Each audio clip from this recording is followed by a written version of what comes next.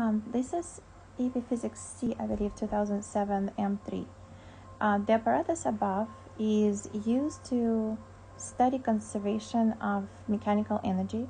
A spring is a force constant uh, 40 newtons per meter is held horizontal over horizontal air track with one end attached to the air track. A light string is attached to the other end of the spring and connects to the glider of mass m. The glider is pulled to stretch the spring an amount of x from its equilibrium and then released. Before reaching the photo gauge, so here is the photo gauge, um, the glider attains a maximum speed and string becomes slack. The photo gauge measures the time t that it takes to that it takes the small block on top of the glider to pass through and information about the about the distance x and the speed velocity of the glider uh, passing through the photo gauge is given below so for a they ask um, assuming no energy is lost write the equation for conservation of mechanical energy that would apply to this situation um, so for a i could say I have potential energy of the spring when we stretch the mass. Go into the kinetic energy of the block when it passes over the photo gauge or photo gate. Um, so I have one half kx squared is equal to one half mv squared and v is the maximum velocity of the mass when it passes photo gate. I'm gonna simplify this equation just because I want you to see something special in this equation. Um, so I have kx if I if I times both sides by two, I have kx squared is equal to mv squared. If I solve this for v, if I say v squared is equal to, I have k over m x squared. And I'm going to transfer this equation to the graph that is asked in B. So v squared is equal to k over m x squared. So on the grid below, plot v squared over x squared. Label the axes including the units and scale. So I'm going to use this table for my x squared and y squared to plug in into um, the graph. And when the graph is ready, I'm to come back and show you the graph. So I plugged in the numbers from the graph that is given. I chose um, the green part right here for x squared and uh, v squared. I plugged in the numbers and I put the uh, plotted the line that is um, the closest to those points.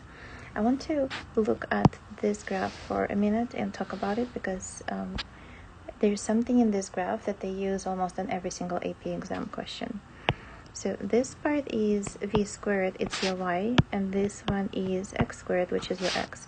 So if I say y is equal to mx, then your slope, then this becomes your slope.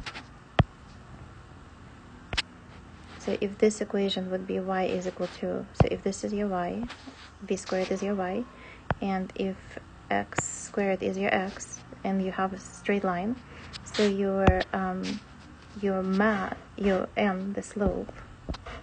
Let me write it right here. Um, the slope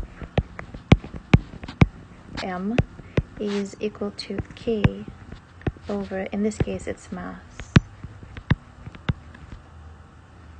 So if I figure out here let me show you what they show you in um, C, in D. Oh, actually, it's still um, C. Use the best fit line, so we did put the line, to obtain the mass of the glider. So if I go back right here, I'm going to figure out what the mass is equal to. And K is given 40, right? K is given 40 in the equation, 40 newtons per meter. Um, so I have to figure out what the slope is. The slope is, you can go that uh, horizontally and then vertically, or vertically horizontally. I'm just gonna go this way so I have more space on the other side to write. So this is my rise over the run. So the slope in this case is equal to the rise. Let's look right here. Um, 4.8 and 0.22. So if I look at those two points, that gives me 4.8 minus 2.22 gives me 458 so that is 458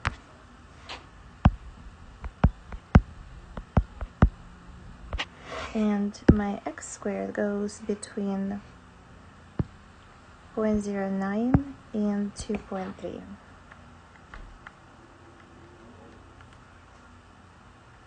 so that gives me 221 but it is um, 10 to the negative 2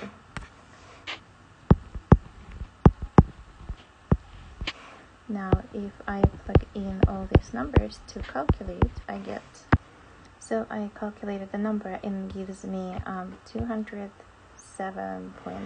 So I'm just gonna leave it 207. So the slope of my graph is 207. So I can plug in it into the slope. So that is 207 is equal to 40 divided by the mass. So the mass is equal to 40 divided by that number 207 so 40 divided by 207 gives me almost 0.2 kilogram. And again you will see a lot of questions on AP exam where they will give you the graph that doesn't make any sense you haven't ever seen in the classroom um, but you have to use to answer the question and it's usually related to the equation that you find the equation that you find and the slope of that equation. So for D part, they um, they lifted the truck at, under an angle of theta. So let's say before I had my block over here. So this was the original position. Now they lifted the truck under an angle theta.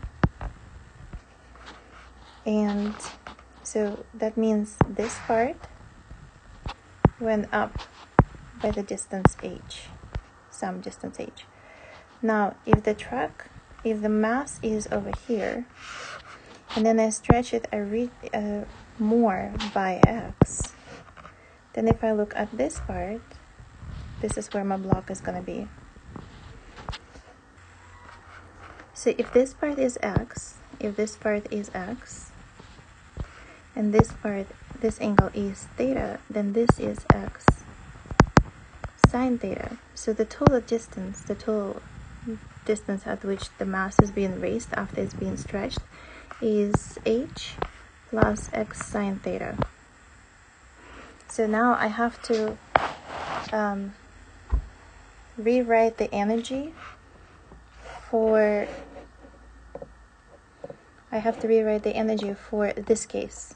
So the total potential energy of the spring and so I have potential energy of the spring. And potential energy gravitational.